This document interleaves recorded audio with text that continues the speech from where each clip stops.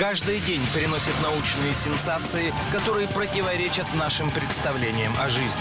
Последние находки археологов опровергают учебники истории. Новейшие открытия астрономов начисто ломают знания о Вселенной. А достижения биологов рушат, казалось бы, незыблемые истины даже о жизни и смерти. Хотим мы этого или нет, но знания, накопленные человечеством, все чаще оказываются территорией заблуждений.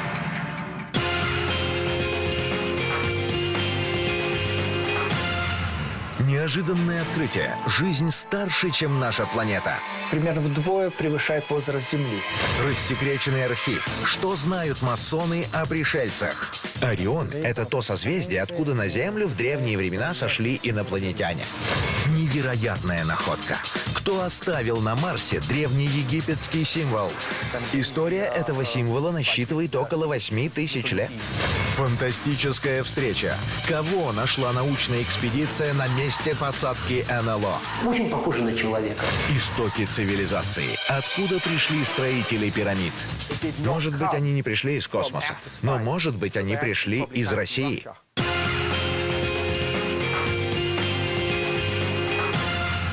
Хотя мы и не были на других планетах, однако абсолютно убеждены в том, что жизнь на Земле явление уникальное и по космическим меркам совсем молодое. Ведь если нашей Вселенной 14 миллиардов лет, то Земля в три раза моложе. И вот научные умы терзают смутные сомнения. Если есть множество миров, которые на миллиарды лет старше нас, неужели ни в одном из них нет жизни? Может быть, есть, туманно отвечают учебники, а может быть и нет. Инопланетян-то за руку до сих пор никто не схватил.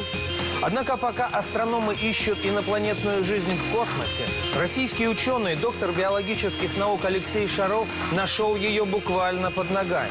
Согласно его расчетам, жизнь на нашей планете намного старше самой Земли. Оказывается, что возраст жизни эм, примерно 9,5 миллиар- э, миллиар- миллиардов лет, что примерно вдвое превышает возраст Земли. На первый взгляд это невозможно. Не может быть курица старше яйца.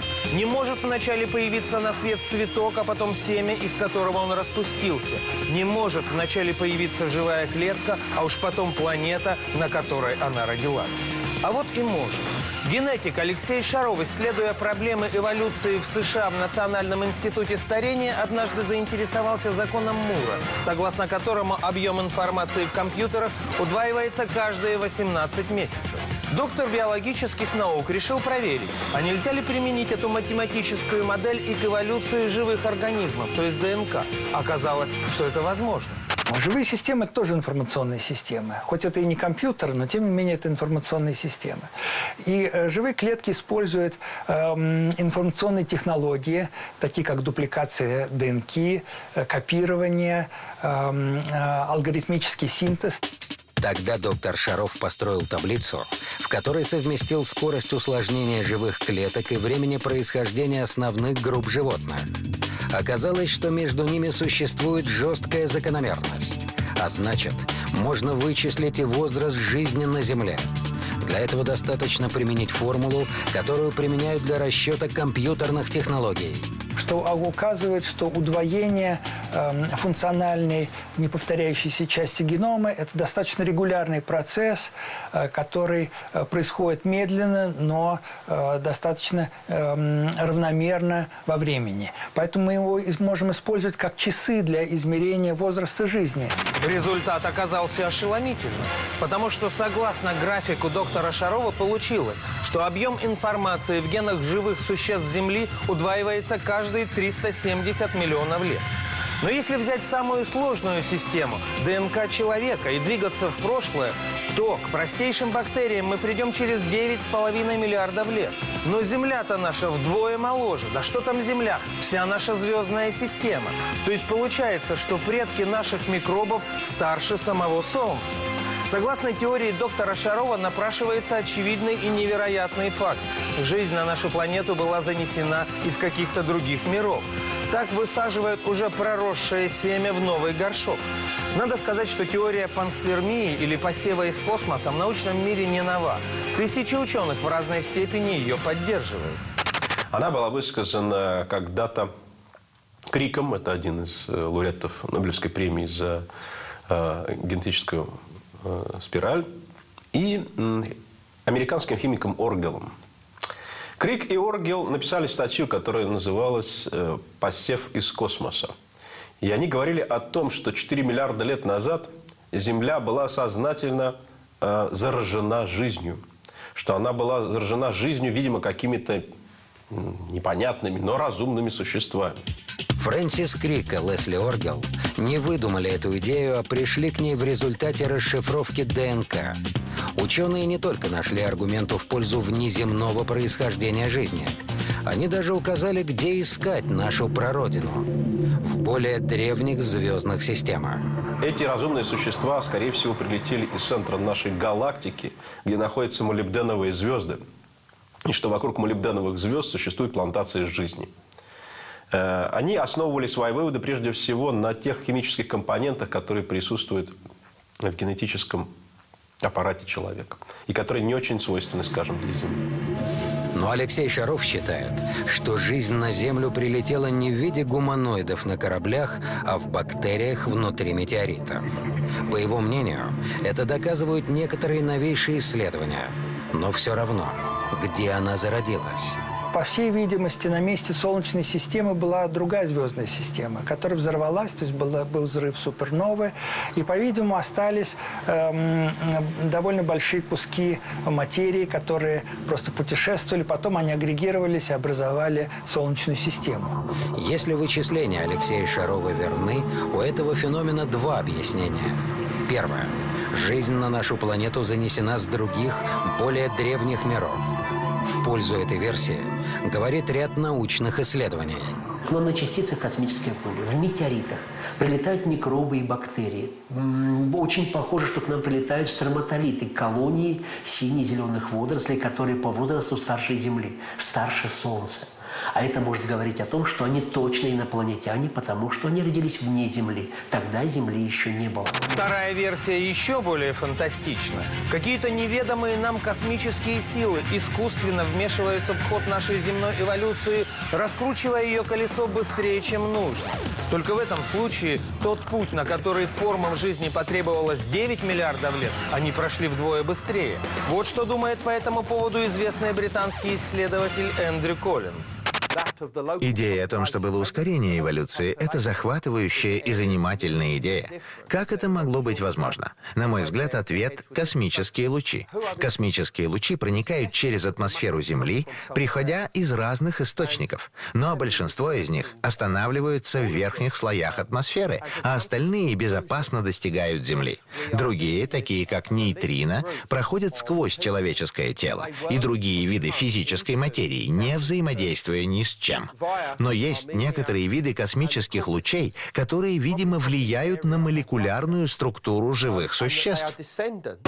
Если все же предположить, что в далеком космосе взорвалась некая обитаемая планета, и наша Солнечная система подверглась массированной бомбардировке метеоритов, несущих уже готовый РНК и ДНК, то эти метеориты могли попасть и на соседние с нами планеты. Подтверждением именно этой гипотезы служат новейшие сенсационные находки на Марсе. На фотографиях, сделанных марсоходами Opportunity и Spirit, обнаружены объекты, похожие на окаменевшие кости. И некоторые из этих ископаемых похожи на кости небольших грызунов. Видно, что они симметричны и имеют анатомическую структуру. Можно разглядеть глазницы, челюсть, костный гребень, носовую кость. Это удивительно. Если кто-то хочет доказать, что это просто камни, то пусть сначала объяснит, почему они так симметричны и имеют эти биологические признаки. Программист Доник Швинт возглавляет независимую научную группу, которая анализирует снимки Марса. В нее входят физики, историки, биологи, геологи и даже специалисты по трехмерной компьютерной анимации. В результате своих исследований они пришли к однозначному выводу. На Марсе раньше была жизнь. Фотографии, сделанные в кратере Гусева, о многом рассказали специалистам. Если мы изучим эти фотографии, то найдем повсюду свидетельства, части позвоночника, кости, черепа. Было бы странно, если бы мы находили повсюду исключительно черепа. Но там есть и другие части скелета. Найти на фотографиях эти части скелета очень сложно. Меня поймут исследователи Сахары. Там кости тоже выглядят очень незаметно, как куски камня на первый взгляд. И еще эти останки не разрознены. Если мы видим череп, то рядом находим и остальные части скелета.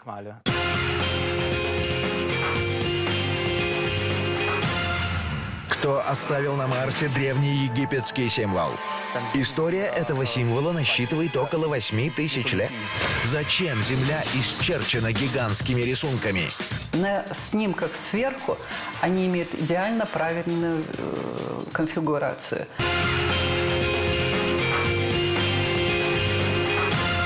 Сложно сказать, что это были за существа.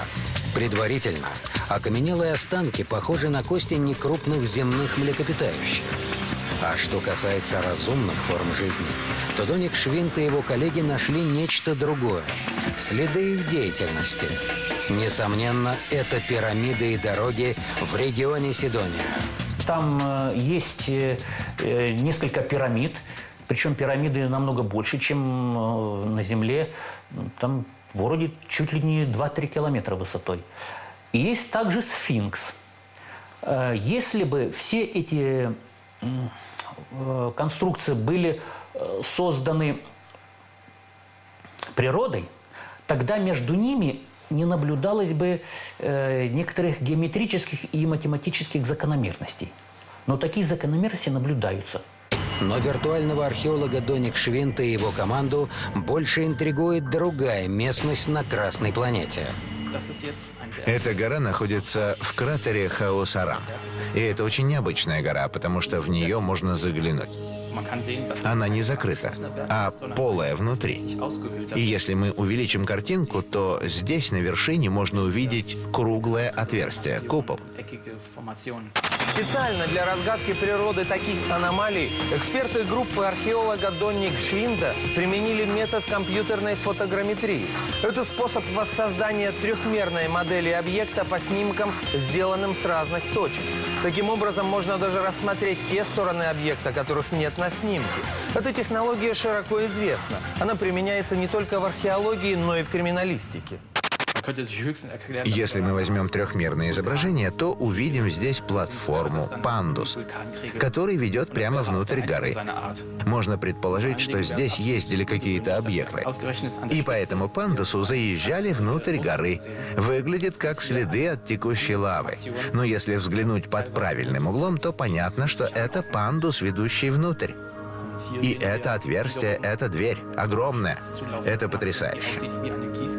Но самое поразительное открытие на снимках этого района – гигантский барельеф на вершине пирамиды. Крылатый диск. Точно такой же, как древний символ, хорошо известный на Земле. Крылатый диск является популярным знаком масонских лож, тайных обществ и даже военно-воздушных сил некоторых стран. Историки Ближнего Востока знают, знак есть на каждом египетском храме, шумерской табличке или персидском барельефе. В Египте он обозначал бога Гора и его территорию. История этого символа насчитывает около 8 тысяч лет. Первым делом найдем его в египетской мифологии. Там есть так называемые крылья Бехедети. Бехедети — это одно из воплощений египетского бога Гора. Его изображают как фигуру внутри крылатого солнца. Стоящая фигура внутри солнечного диска используется также в зороастризме. С этим связана вера в бога Ахура Мазда. Он символизирует власть света и является творцом и покровителем мира и человечества. А в шумерской мифологии диск означал отца богов Ашура и родину богов планету Нибиру. И я, как исследователь, могу э, с полной уверенностью вернуть Марсу его истинное имя, древнее, а Нибиру – это имя Марса. Так вот, то знание, которое пришло с Марса на Землю и нашло свое отражение на Земле, в том числе в архитектурных сооружениях, оно очень коррелирует с тем, что мы видим на Марсе.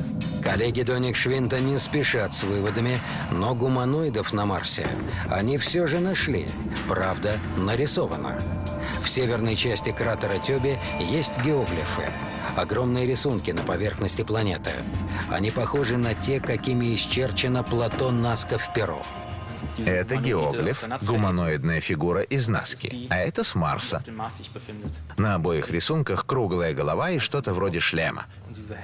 Круглые глаза, и здесь такие же, и вытянутое тело.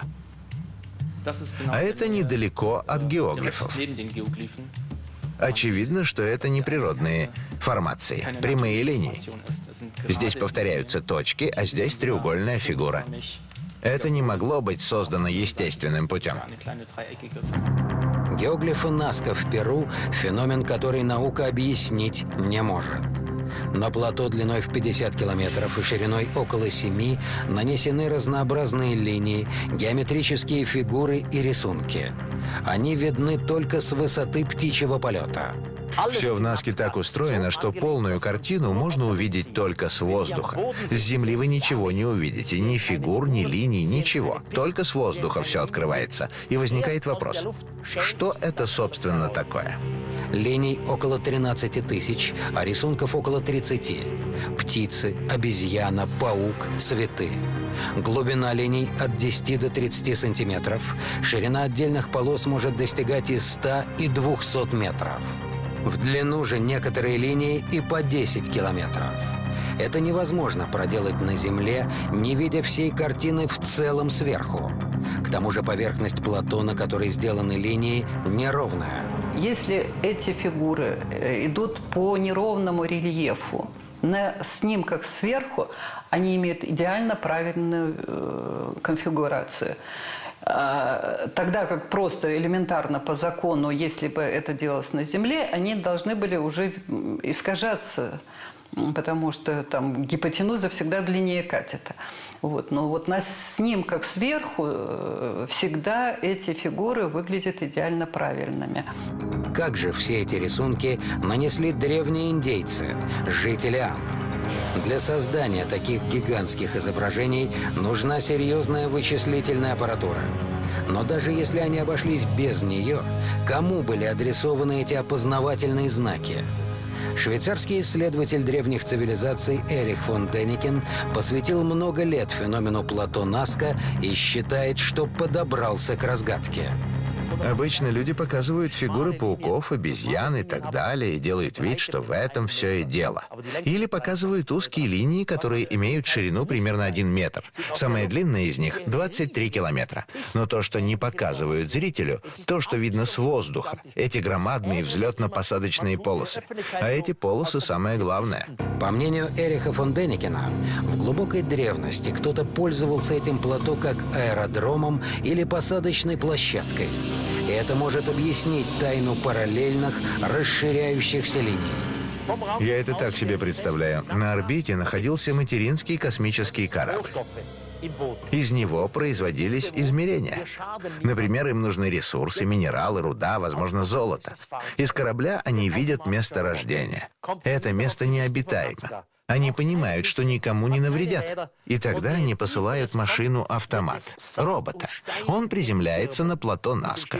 Он погружается все глубже и глубже. Вокруг летит песок и камни. Машина приземляется и начинает бурить. Производит измерения, какие ресурсы, минералы здесь есть, и после этого улетает.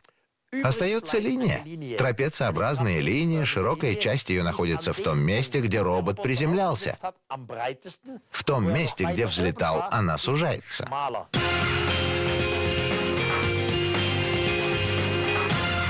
Что нашли исследователи марсианского рельефа? Когда-то существовала связь между нашими цивилизациями. Кто ведет радиопереговоры с Сатурном?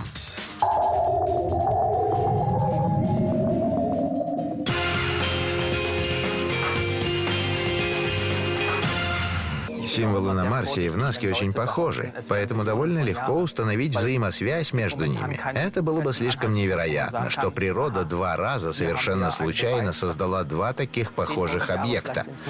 Все это свидетельство того, что когда-то существовала связь между нашими цивилизациями. Но когда это было, определить практически невозможно. Физик Альфред Теплов считает, что авторами древних памятников и на Земле, и на Марсе могли быть жители планеты, которая раньше находилась между Марсом и Юпитером. Астрономы назвали ее Фаэтон. Сегодня на ее месте находится пояс астероидов. Химический анализ этих обломков показал, что это останки планеты, на которой, возможно, даже была вода. Все это позволило ученому предположить, что Фаэтон мог быть обитаем пояс астероидов. Больше ничего, ни на что я не опираюсь. Я уверен о том, что тут э, существовала планета. А почему она разрушилась, почему она не существует, это уже да, другой вопрос. Астрономы не могут точно сказать, когда погиб Фаэтон. Называются даты и миллиард, и сотни тысяч лет назад. А по мнению Альфреда Теплова, катастрофа могла произойти и не так давно, и даже остаться в памяти людей. После того, как погибла планета какая-то, так, то на Землю обрушиться мог э, целый дождь этих метеоритов всевозможных. И эти метеориты могли привести как раз к возникновению всемирного потопа. То есть они вскипятили своим падением океан, растопили э, эти э, северные и южные полюса, ледники. И поэтому действительно получилась такая история, что произошло затопление очень большой территории суши на земном шаре. В то же самое время знатоки древних текстов уверенно заявляют, что ни в одном манускрипте прямо не говорится, что кто-то прилетал с Марса или Венеры. А ведь эти небесные тела, видимые даже невооруженным глазом, были известны с эры самых первых наблюдений за небом древние народы уделяют внимание многим звездам, э, созвездиям, причем э, далеким от нас.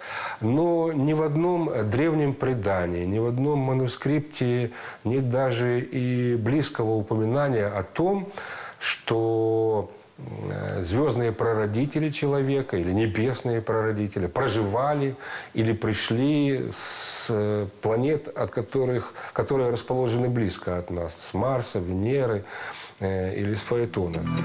Доник Швинд склоняется к гипотезе фон Деникина.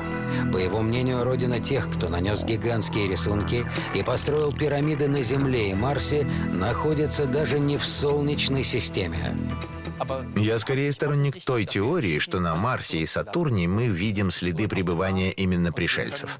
Для меня марсиане скорее инопланетяне, а не туземцы. Мало кто знает, что Сатурн – одна из самых загадочных планет.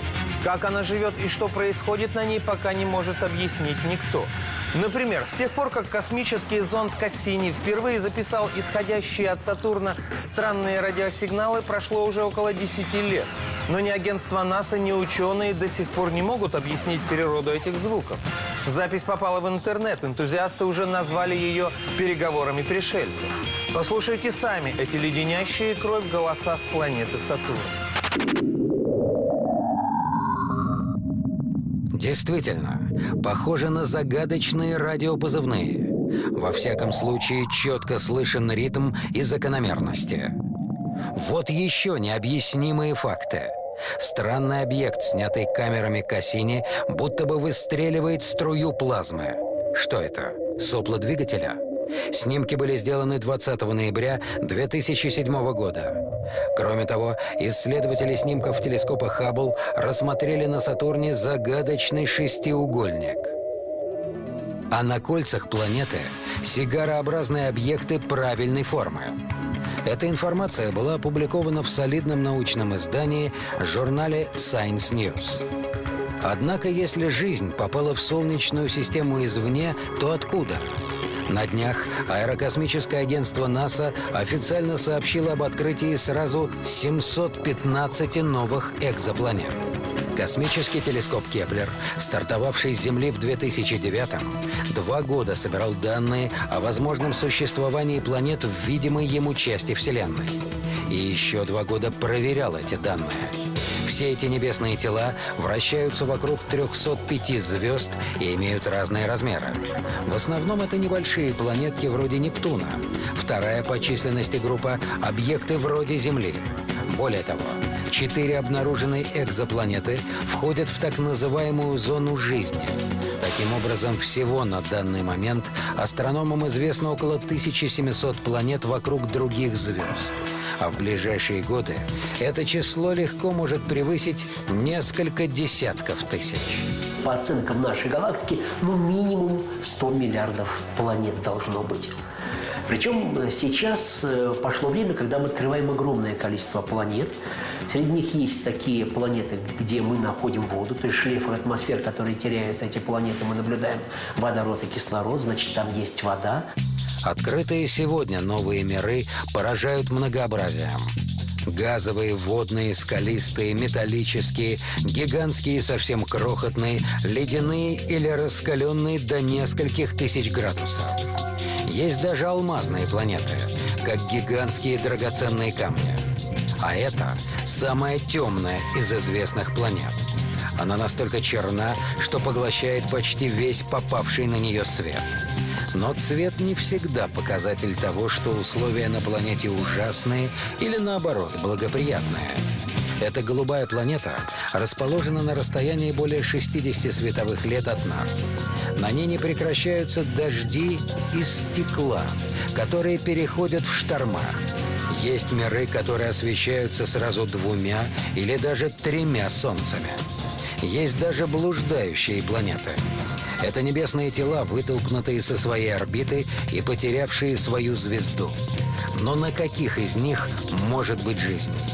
Должна ли она быть основана на углеводородных соединениях, как у нас? Жизнь основана на атомах других химических элементов, на атомах азота, на атомах, допустим, э, я не знаю, ну каких там, бора или кремния.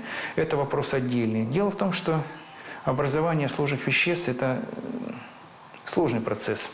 Углерод дает наиболее простые варианты, которые реализуются быстрее, легче. Вот углеродная форма жизни, я думаю, самая распространенная, наверное, все-таки.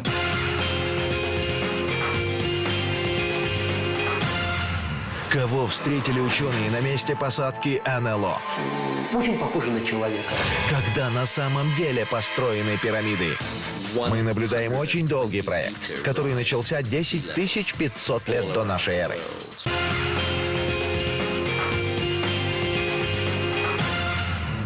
Размышляя, какова вероятность, что инопланетяне есть и уже добрались до нас, астроном Владимир Крупков вспоминает, что, возможно, и сам видел гуманоида. Все произошло в странном аномальном месте Алтая, которое называется «Черный узел». Удивительное место, где сходятся три хребта на плато высотой 2200 метров. С него идут каскады водопадов и озер в одно место, с другого там Палевское озеро, дурное в народе, свечение, лучи какие-то бьющие с него. Народ старается в стороне обходить это озеро. Группа российских ученых, физиков, математиков, программистов и астрономов вооружилась приборами и отправилась исследовать странное место. Все они стали свидетелями фантастического происшествия. Там были палеонтологи из Китая, наши палеонтологи из города Ридер. э, И, по-моему, кто-то из американцев там был, из э, наемных ребят.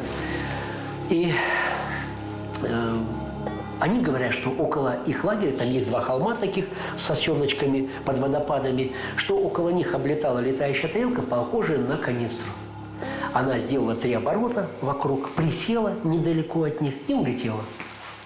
И вот они попросили нас приехать и посмотреть это место, где она садилась. Ученые начали изучать предполагаемое место посадки НЛО, как вдруг что-то вокруг неуловимо изменилось. Вот все нормально было вроде бы, а потом такое ощущение было, что потемнело. Вот ощущение, что как будто вот куполом накрыли каким-то фильтром. То есть все, было видно, нормальное ощущение, что вот свет два раза упал. Вот как-то отвлеклись на это внимание и боковым зрением заметили движение. По словам Владимира Крупко, в нескольких сотнях метров от них по склону двигалось странное полупрозрачное существо. Причем было видно ощущение, ну, как из стекла существо сделанное. И горы переливались, вот как разная плотность, скажем, если это не однородное какое-то стекло, да, а оно имеет форму какую-то, это вершины гор переливаются. И вот это продвигалось нас, потом раз, как будто бы растворилось. Очень похоже на человека. Похоже на того из фильма «Хищника». Это я всегда сравниваю, что очень похоже. Как полагается членам научной экспедиции, эксперты независимо друг от друга зарисовали увиденное. Рисунки полностью совпали. Это не могло быть массовой галлюцинацией. К сожалению, больше никаких вещественных доказательств в тот раз добыть не удалось. И когда вот это происходило, даже мысли не возникла схватить фотоаппарат и сфотографировать. То есть вот настолько были поражены этим зрелищем. Мы потом попытались по тем вот камням, которые там были, по утесам, высота, вот, вот мы определили около трех метров. Вот так мы определили для себя. И когда меня спрашивают иногда, а сколько вы видели инопланетян? Я говорю, а сколько надо увидеть, чтобы поверить, что мы в этом мире не одиноки. Мне этого случая хватило за глазу. Откуда вообще родилась идея, будто тысячи лет назад нашу планету посещали пришельцы? Эпос некоторых древних народностей прямо указывает на то, что их прародителями являются боги, сошедшие с небес. Если говорить о космографии, о расселении звездных предков древних народов, то, наверное, все-таки следует начать с Библии, где есть такие очень интересные слова. А, кто есть Творец э, созвездия Ориона и Семизвездия? Господь ему имя. Амоса 5.8. Под э, семизвездием в данном тексте подразумеваются плеяды. И все-таки даже если оставить наших звездных предков-фантастов, все равно остаются вопросы. Если внимательно присмотреться к некоторым доисторическим памятникам и доисторическим достижениям наших предков, нельзя не заметить поразительного, ничем не объяснимого несоответствия между уровнем развития древних жителей Земли и тем, что они оставили нам в качестве археологических находок. Первым, кто обратил внимание научного мира на эти факты, был английский археолог Джон Эрик Томпсон. Изучив календари индейцев майя, их достижения в математике и астрономии, он оставил в своем труде изумленные строки. Цитирую. Что за умственные выверты привели майя к составлению карты неба, но не позволили им дорасти до принципа колеса? Что позволило им научиться считать миллионами, но не суметь взвесить даже мешок кукурузы?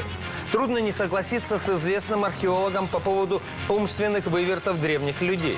Кстати, то же самое имеет прямое отношение и к египтянам. Огромные пирамиды, инженерная сложность которых сделает честь и современному архитектору.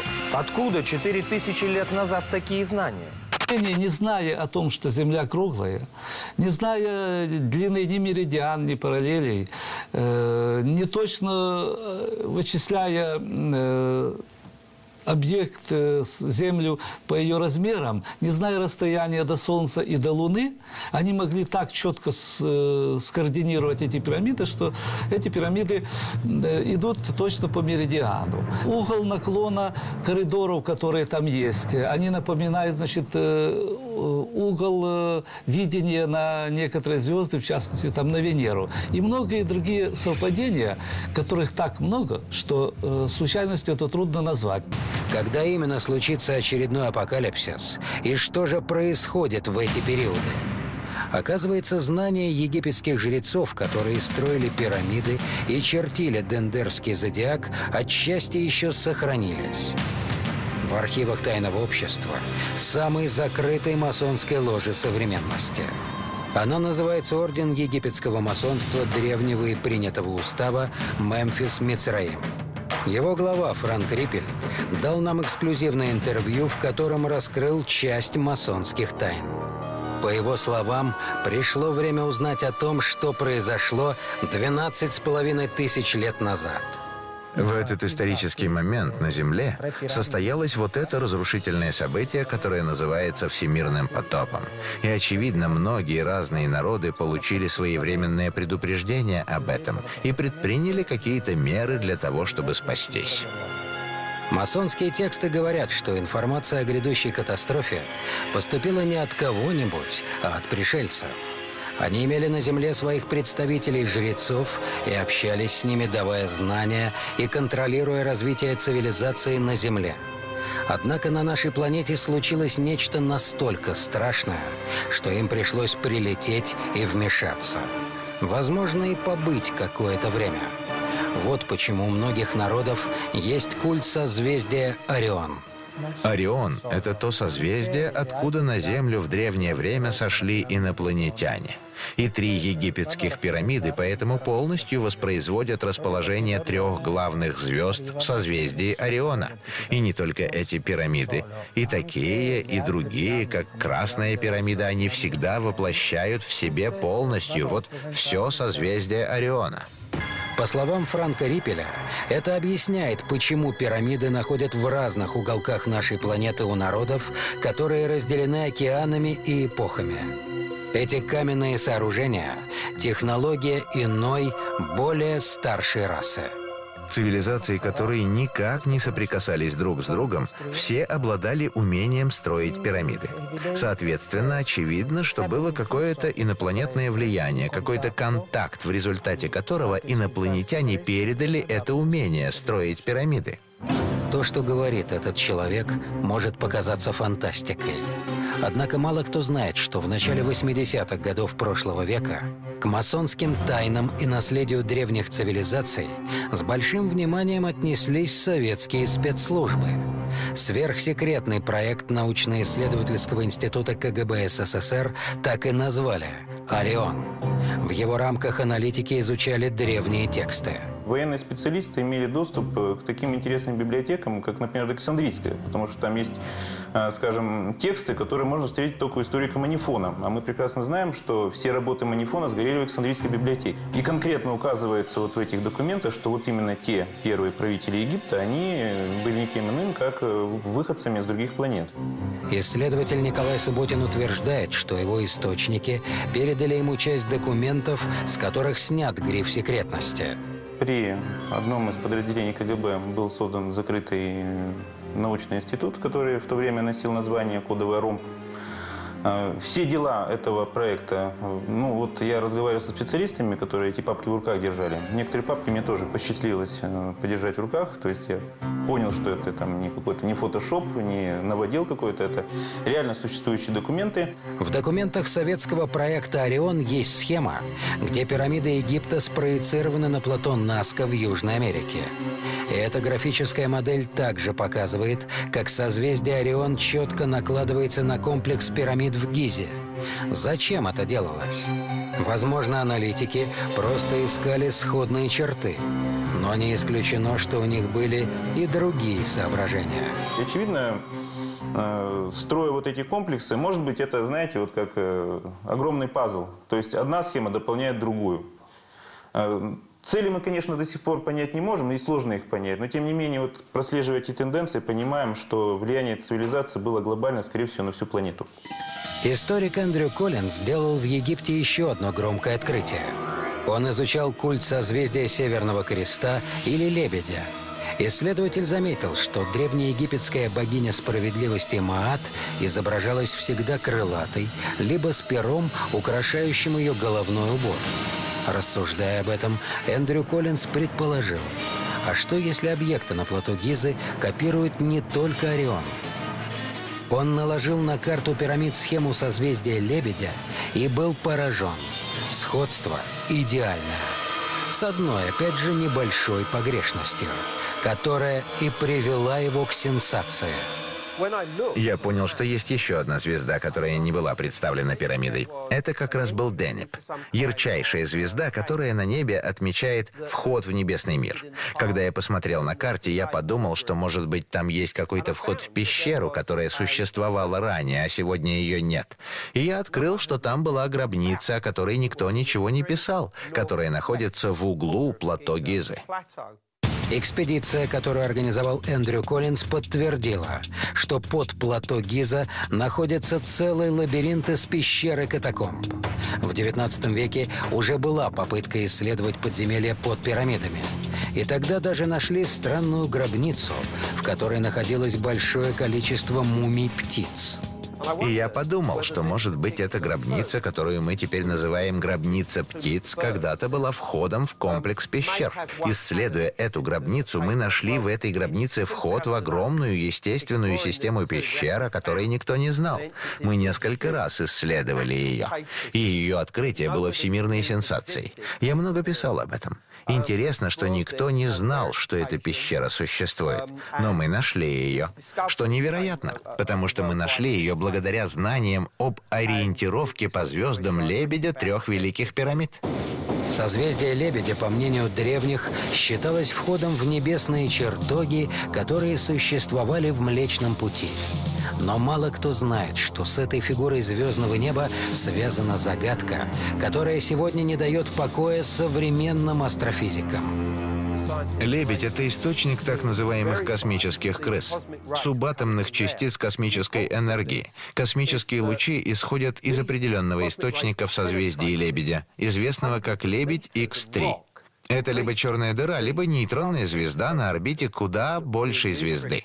И периодически этот источник выпускает космические лучи или радиацию прямо в сторону нашей Солнечной системы. Они облучают нас постоянно, даже под землей. Пока сложно сказать, искусственного ли происхождения это излучение. Над этим вопросом работают экспертные группы во всем мире. Созвездие Лебедя в 21 веке важно тем, что это одно из главных мест поиска внеземной жизни. Сотни планет были открыты на орбитах звезд в районе созвездия Лебедя. На некоторых из них практически определенно имеются какие-то формы жизни.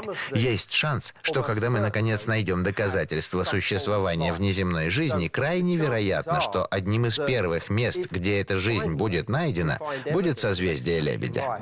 Для тех, кто, может быть, не помнит, скажу, что самый древний храм на нашей планете, по крайней мере, из обнаруженных археологами, находится в Турции. Его возраст не менее 12 тысяч лет. Представьте себе, он в три раза старше, чем египетские пирамиды. Ученые пока не могут ответить на вопрос, что за цивилизация и зачем построила его. Но еще большую загадку представляет собой ответ на вопрос, почему они покинули это место и почему они его засыпали песком около 8 тысяч лет назад. Гёбекли ТП мало изучена археологами. Я думаю, что цивилизация, которая его строила, началась 17 тысяч лет назад. Скорее всего, это был храм. И, скорее всего, как все мегалитические сооружения на Земле, он тоже ориентирован на звезды.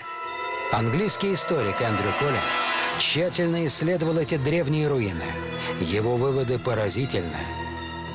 Я попытался проникнуть в разум людей, которые сконструировали эти монументы. Кем они были, чем занимались, зачем они построили эти монументы в конце прошлого ледникового периода. Я начал чувствовать, что они были отражением неба. Они не соответствовали Солнцу или Луне, но скорее одной или нескольким звездам.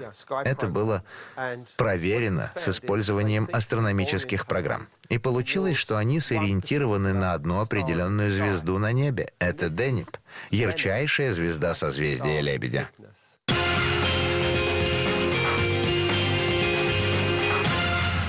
Кем были на самом деле строители пирамид? Может быть, они не пришли из космоса, но может быть, они пришли из России. Сенсационные находки на Урале. Возможно, это обсерватория, возможно, это какой-то наблюдательный пункт.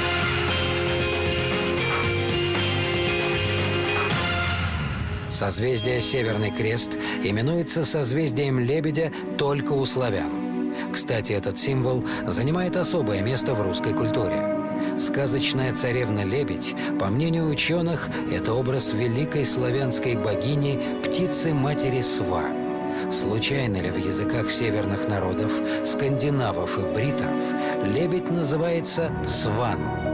Лебединую символику археологи нашли и при раскопках первобытной стоянки на Среднем Урале и среди петроглифов Онежского озера. Крылатые девы со стилизованным оперением встречаются и на русских вышивках. Античные авторы также писали, что в северных широтах живут девы, которые умеют оборачиваться птицами.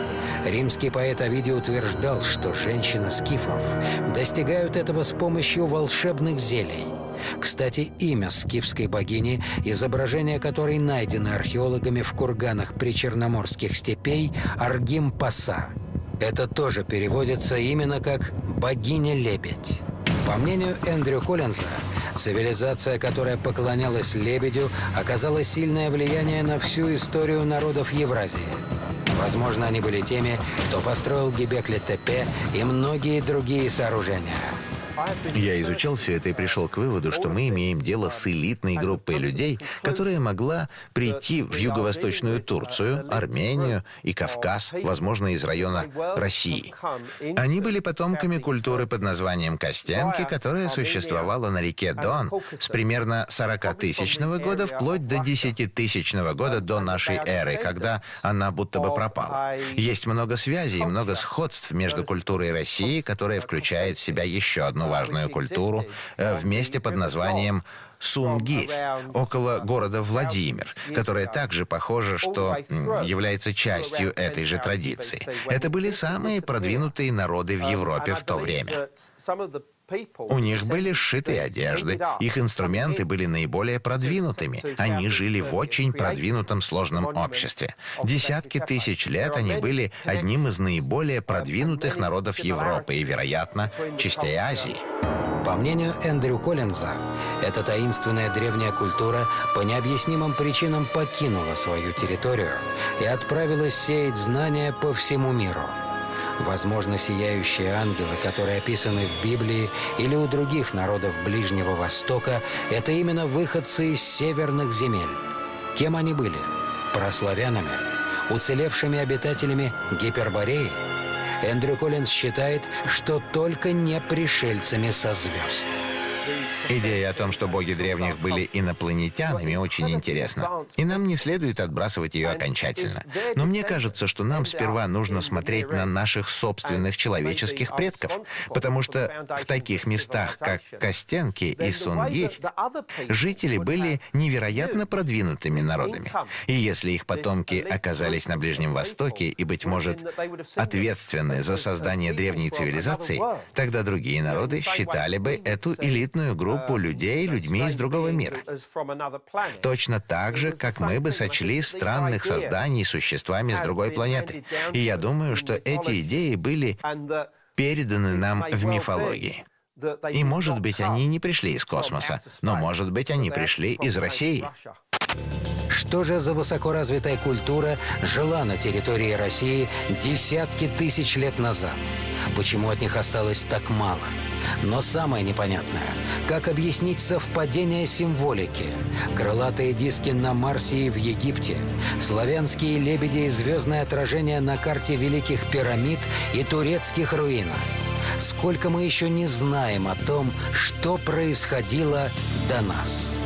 Однако остались послания, зашифрованные в древних каменных сооружениях с помощью высоких технологий.